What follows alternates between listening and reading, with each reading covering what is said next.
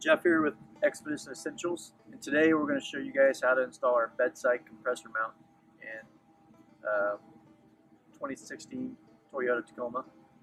And uh, we're going to show you how easy it is, and uh, let's go ahead and get started.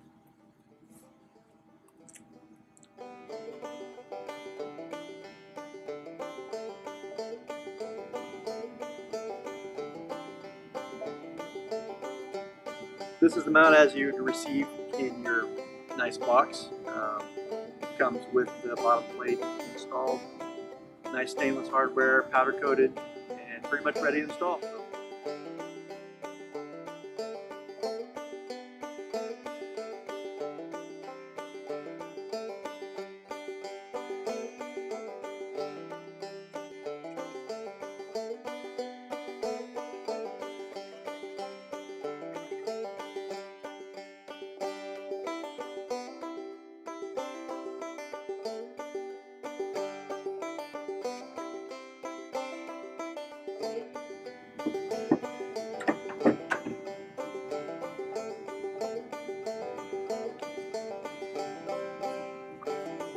Have your factory uh, cubby box, whatever you want to call it.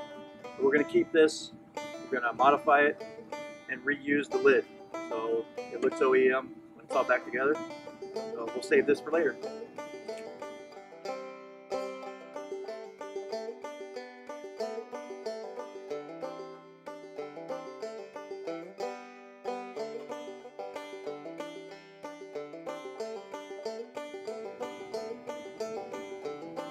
Handy drilling template so you know exactly where to put your bolt holes.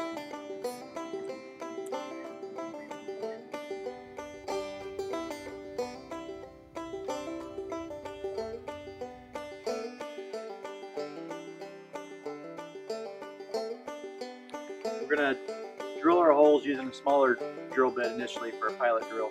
Um, end result will be a quarter inch drill bit. Uh, your holes are going to be a little larger would normally be, but we want them a little oversized for any um, forward, forward and aft movement. Um, basically, um, the strength comes from the mount, sandwiching the fiberglass between the backup plate and the mount. So your strength comes from that. So no worries if your holes have, have to be a little larger because you misdrilled. Uh, there's plenty of room in there for error. So here we go.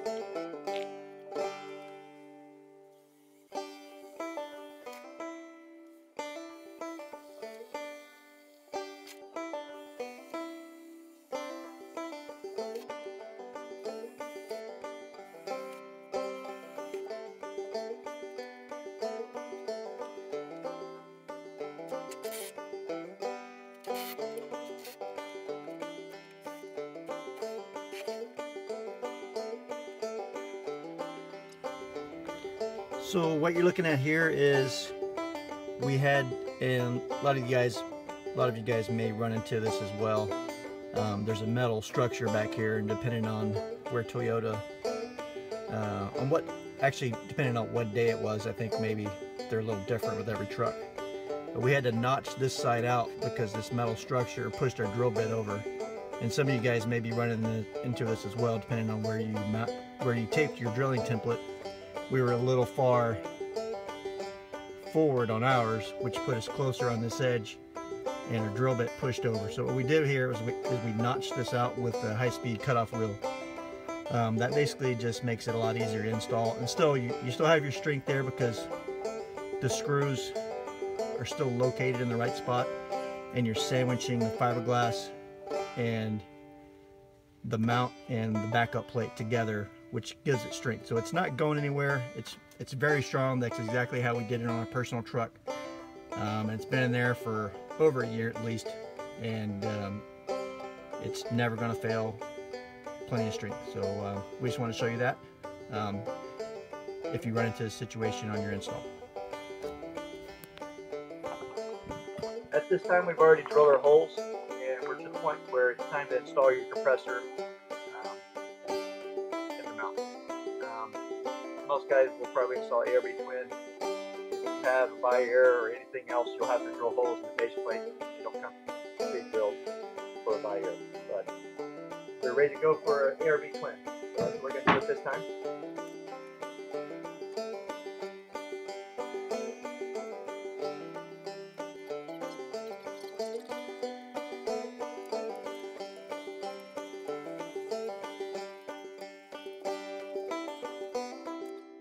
All right, so what you guys are seeing here is the inside of your your wheel well. Um, and what I'm trying to show you in the middle of this opening here, there's this plastic rib. If you're installing an ARB twin, you'll need to clearance just this point off of that with the cutoff wheel, handsaw, anything. It, it trims very easy. I just want to show you where to make that cut. That gives you the room for your ARB ARB twin. Um, and Okay guys, so now here's the point where you need a buddy. Uh, we've chosen to install our assembly with the compressor already in there, so it makes it really heavy. And with the bottom plate installed, you can't get your hands up in there install the screws from underneath. So your nice, your buddy volunteered to help you. And what he's going to do is while you're holding it from underneath, he's going to install the backup plates, hand tighten in all six screws, get everything started, and it's not going anywhere. Um, he can go play golf after that. It doesn't matter. You don't need his help anymore. He can leave. Or you can stay and laugh at you. Either way, these two backup plates go from the top, nut goes in from the bottom, and we're ready to install.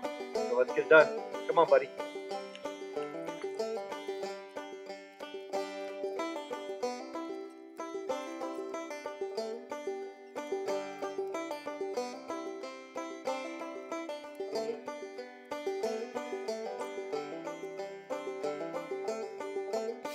So here's a shot of the air compressor mount installed.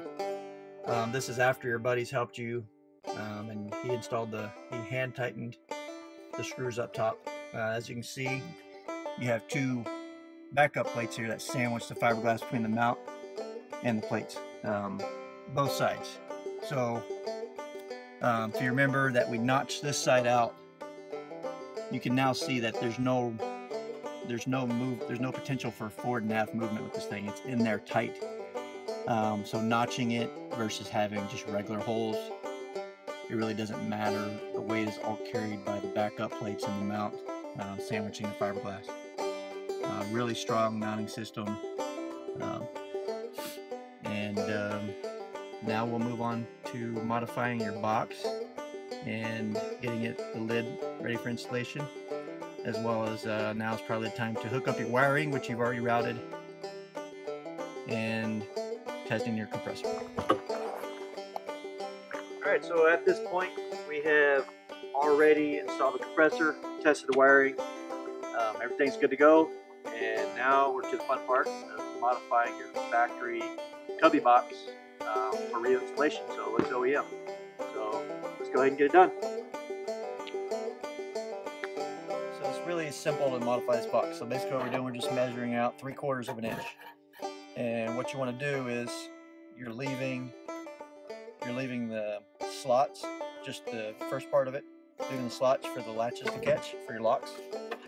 And you're leaving these slots here for the tabs for the lid. And that's basically it. It's really, really easy to do. So I'm gonna go ahead and uh, start marking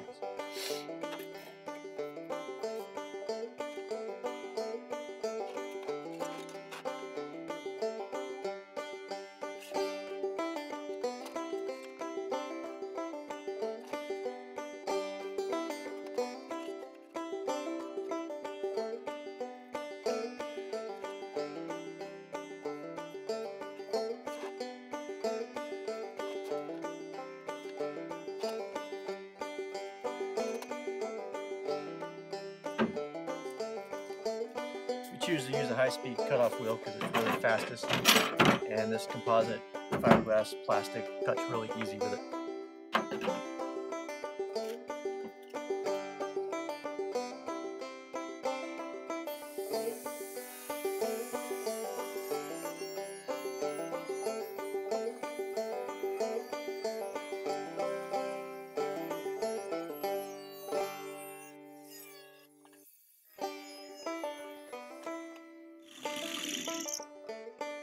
That's it. Cuts really easy. Um, this you can keep it as a change holder or toss it. It's up to you. Maybe install some, put them inside your house, put some plants in it. Doesn't really matter. Uh, otherwise, it's trash. So one thing we want to not forget, uh, these lids have little nipples on here. to basically locate it on the factory box. We're gonna want to trim these off so it fits flush. Um, pretty easy to do. Just fire up the old high speed again, or handsaw, or fingernail clippers, whatever you have.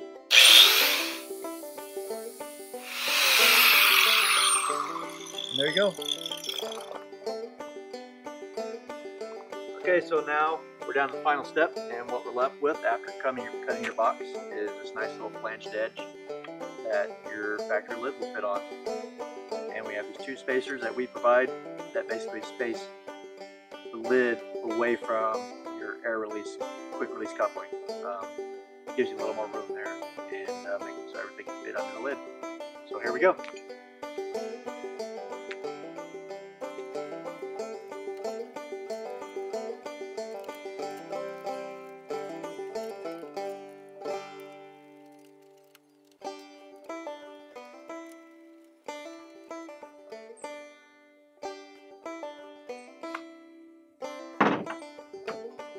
That's a wrap, guys. Put your lid on.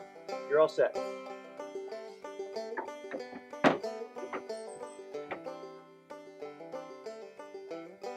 If you have any further questions, don't hesitate to reach out to us. You've got our phone number. We also have written installations that are included in every box. Um, thanks for watching, and until next time.